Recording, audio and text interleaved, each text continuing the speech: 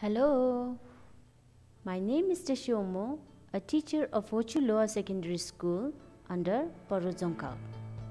And welcome to the craft lesson for Key Stage 3. So today I have a very interesting craft lesson on how to dye the paper and how to make different patterns called orizomi dye paper. So the topic for today's lesson is orizomi dye paper. What is orizomi? Do you know what is orizomi?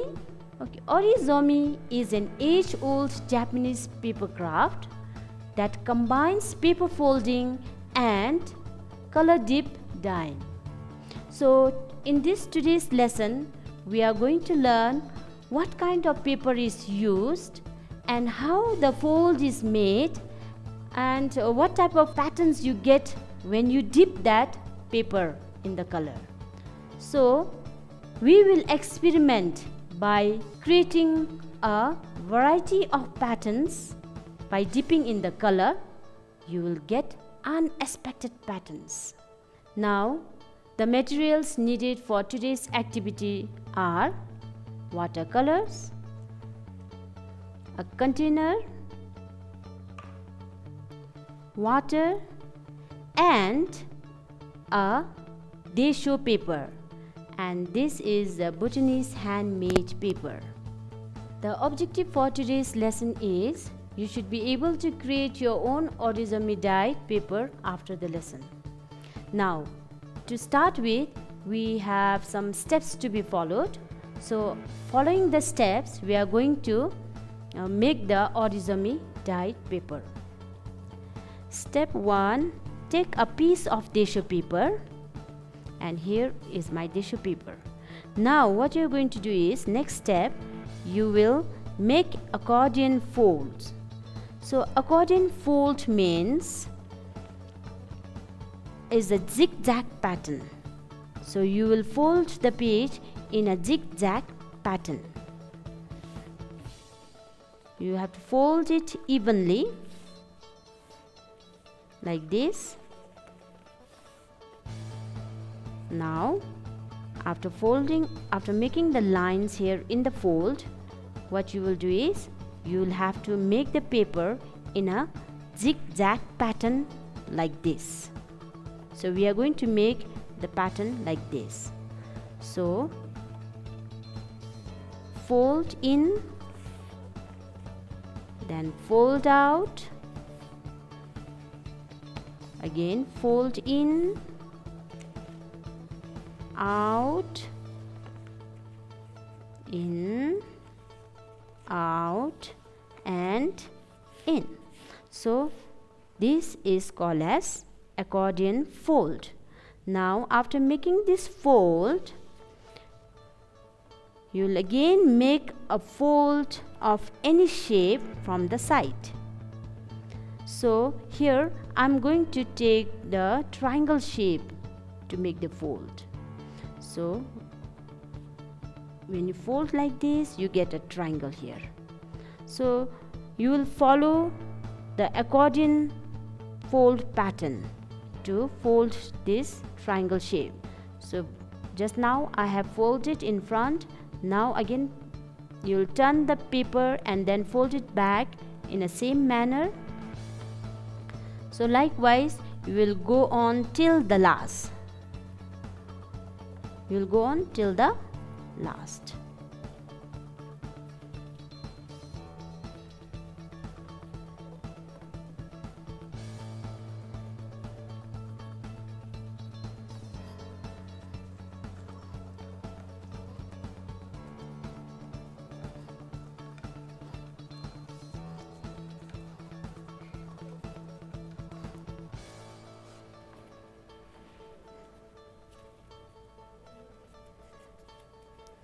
okay so you are done with this triangle fold. Now after folding you have to press nicely.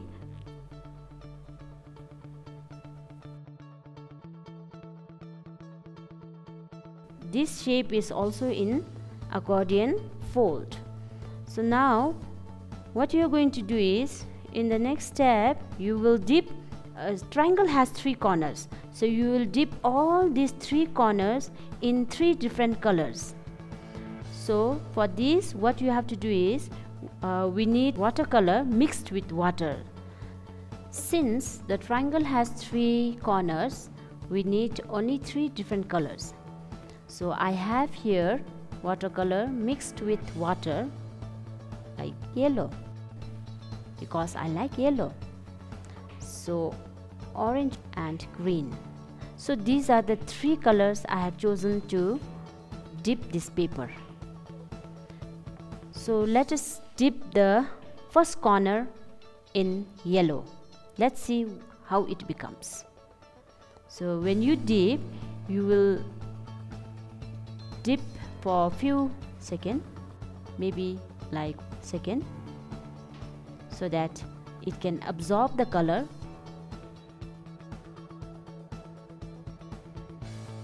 so here once the color is absorbed then turn the other side of the corner and then dip in the second color.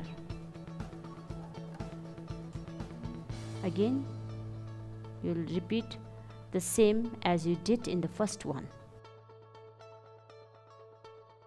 Okay so we have dipped in two colors. Now finally we will go to the last corner and dip in the third color.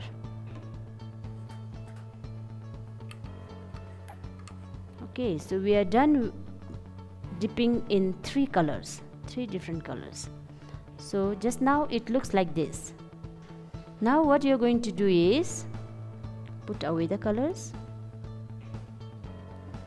Now unfold this fold slowly gently because since it is wet if you do hard it will tear apart. So slowly you will unfold it. Like this and then you unfold like this. So wow. What can you see here? Can you see some pattern yes it's an amazing pattern right? So in the beginning I told you that when you mix or dip the paper in the color you will get an unexpected pattern. So here is an unexpected pattern. I too never thought that I would make or I would get such pattern. So this is my unexpected pattern. I love it now what you will do is after getting the pattern you will keep in the sun or near the fire to dry up. So I am keeping here aside to let it dry. Okay now to get different pattern we can even fold the paper in square and then we can dip it in the color. So when you make square you get four corners so each corner you will dip in different colors. So let's see what pattern we get when we make different shape. Okay so since it has four corners we need four colors. So these are the four colors that I'm going to dip the paper. So I'll mix it so let me dip the first corner in yellow. Okay. since the color is less I'll lift the color container and then dip. And keep for a few to absorb the color. Okay first corner done. Now turn to second corner and then dip in the next color. Again same thing. You will keep it for few second. Again. Now turn to the next corner and again dip in the next color. And finally the last corner you dip in different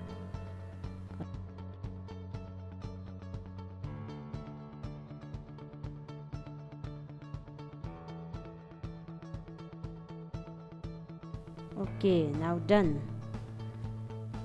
So now let's see what pattern we get from this uh, square folded paper.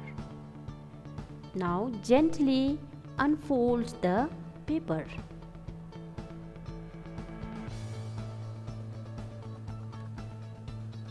Wow. Can you see different color and different patterns? Is it same as before no right? So if you make different folds you will get different patterns. So the this pattern is different from the first one. So likewise if you make different foldings you will get different patterns. Now you might think what we are going to do with this paper now first let it dry and then after drying you can use it as a book cover or to cover the book like this. And it can be also used to wrap the containers and make a pencil stand like this. And we can also use this paper to wrap the present or a gift so there are many uses of these papers. With this we have come to the end of our lesson and I hope you have enjoyed today's lesson.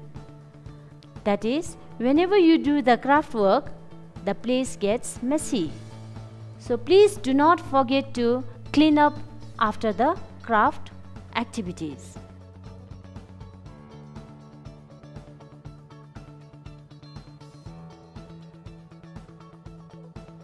Till then, stay safe, take care, and be super creative. Kadinchela.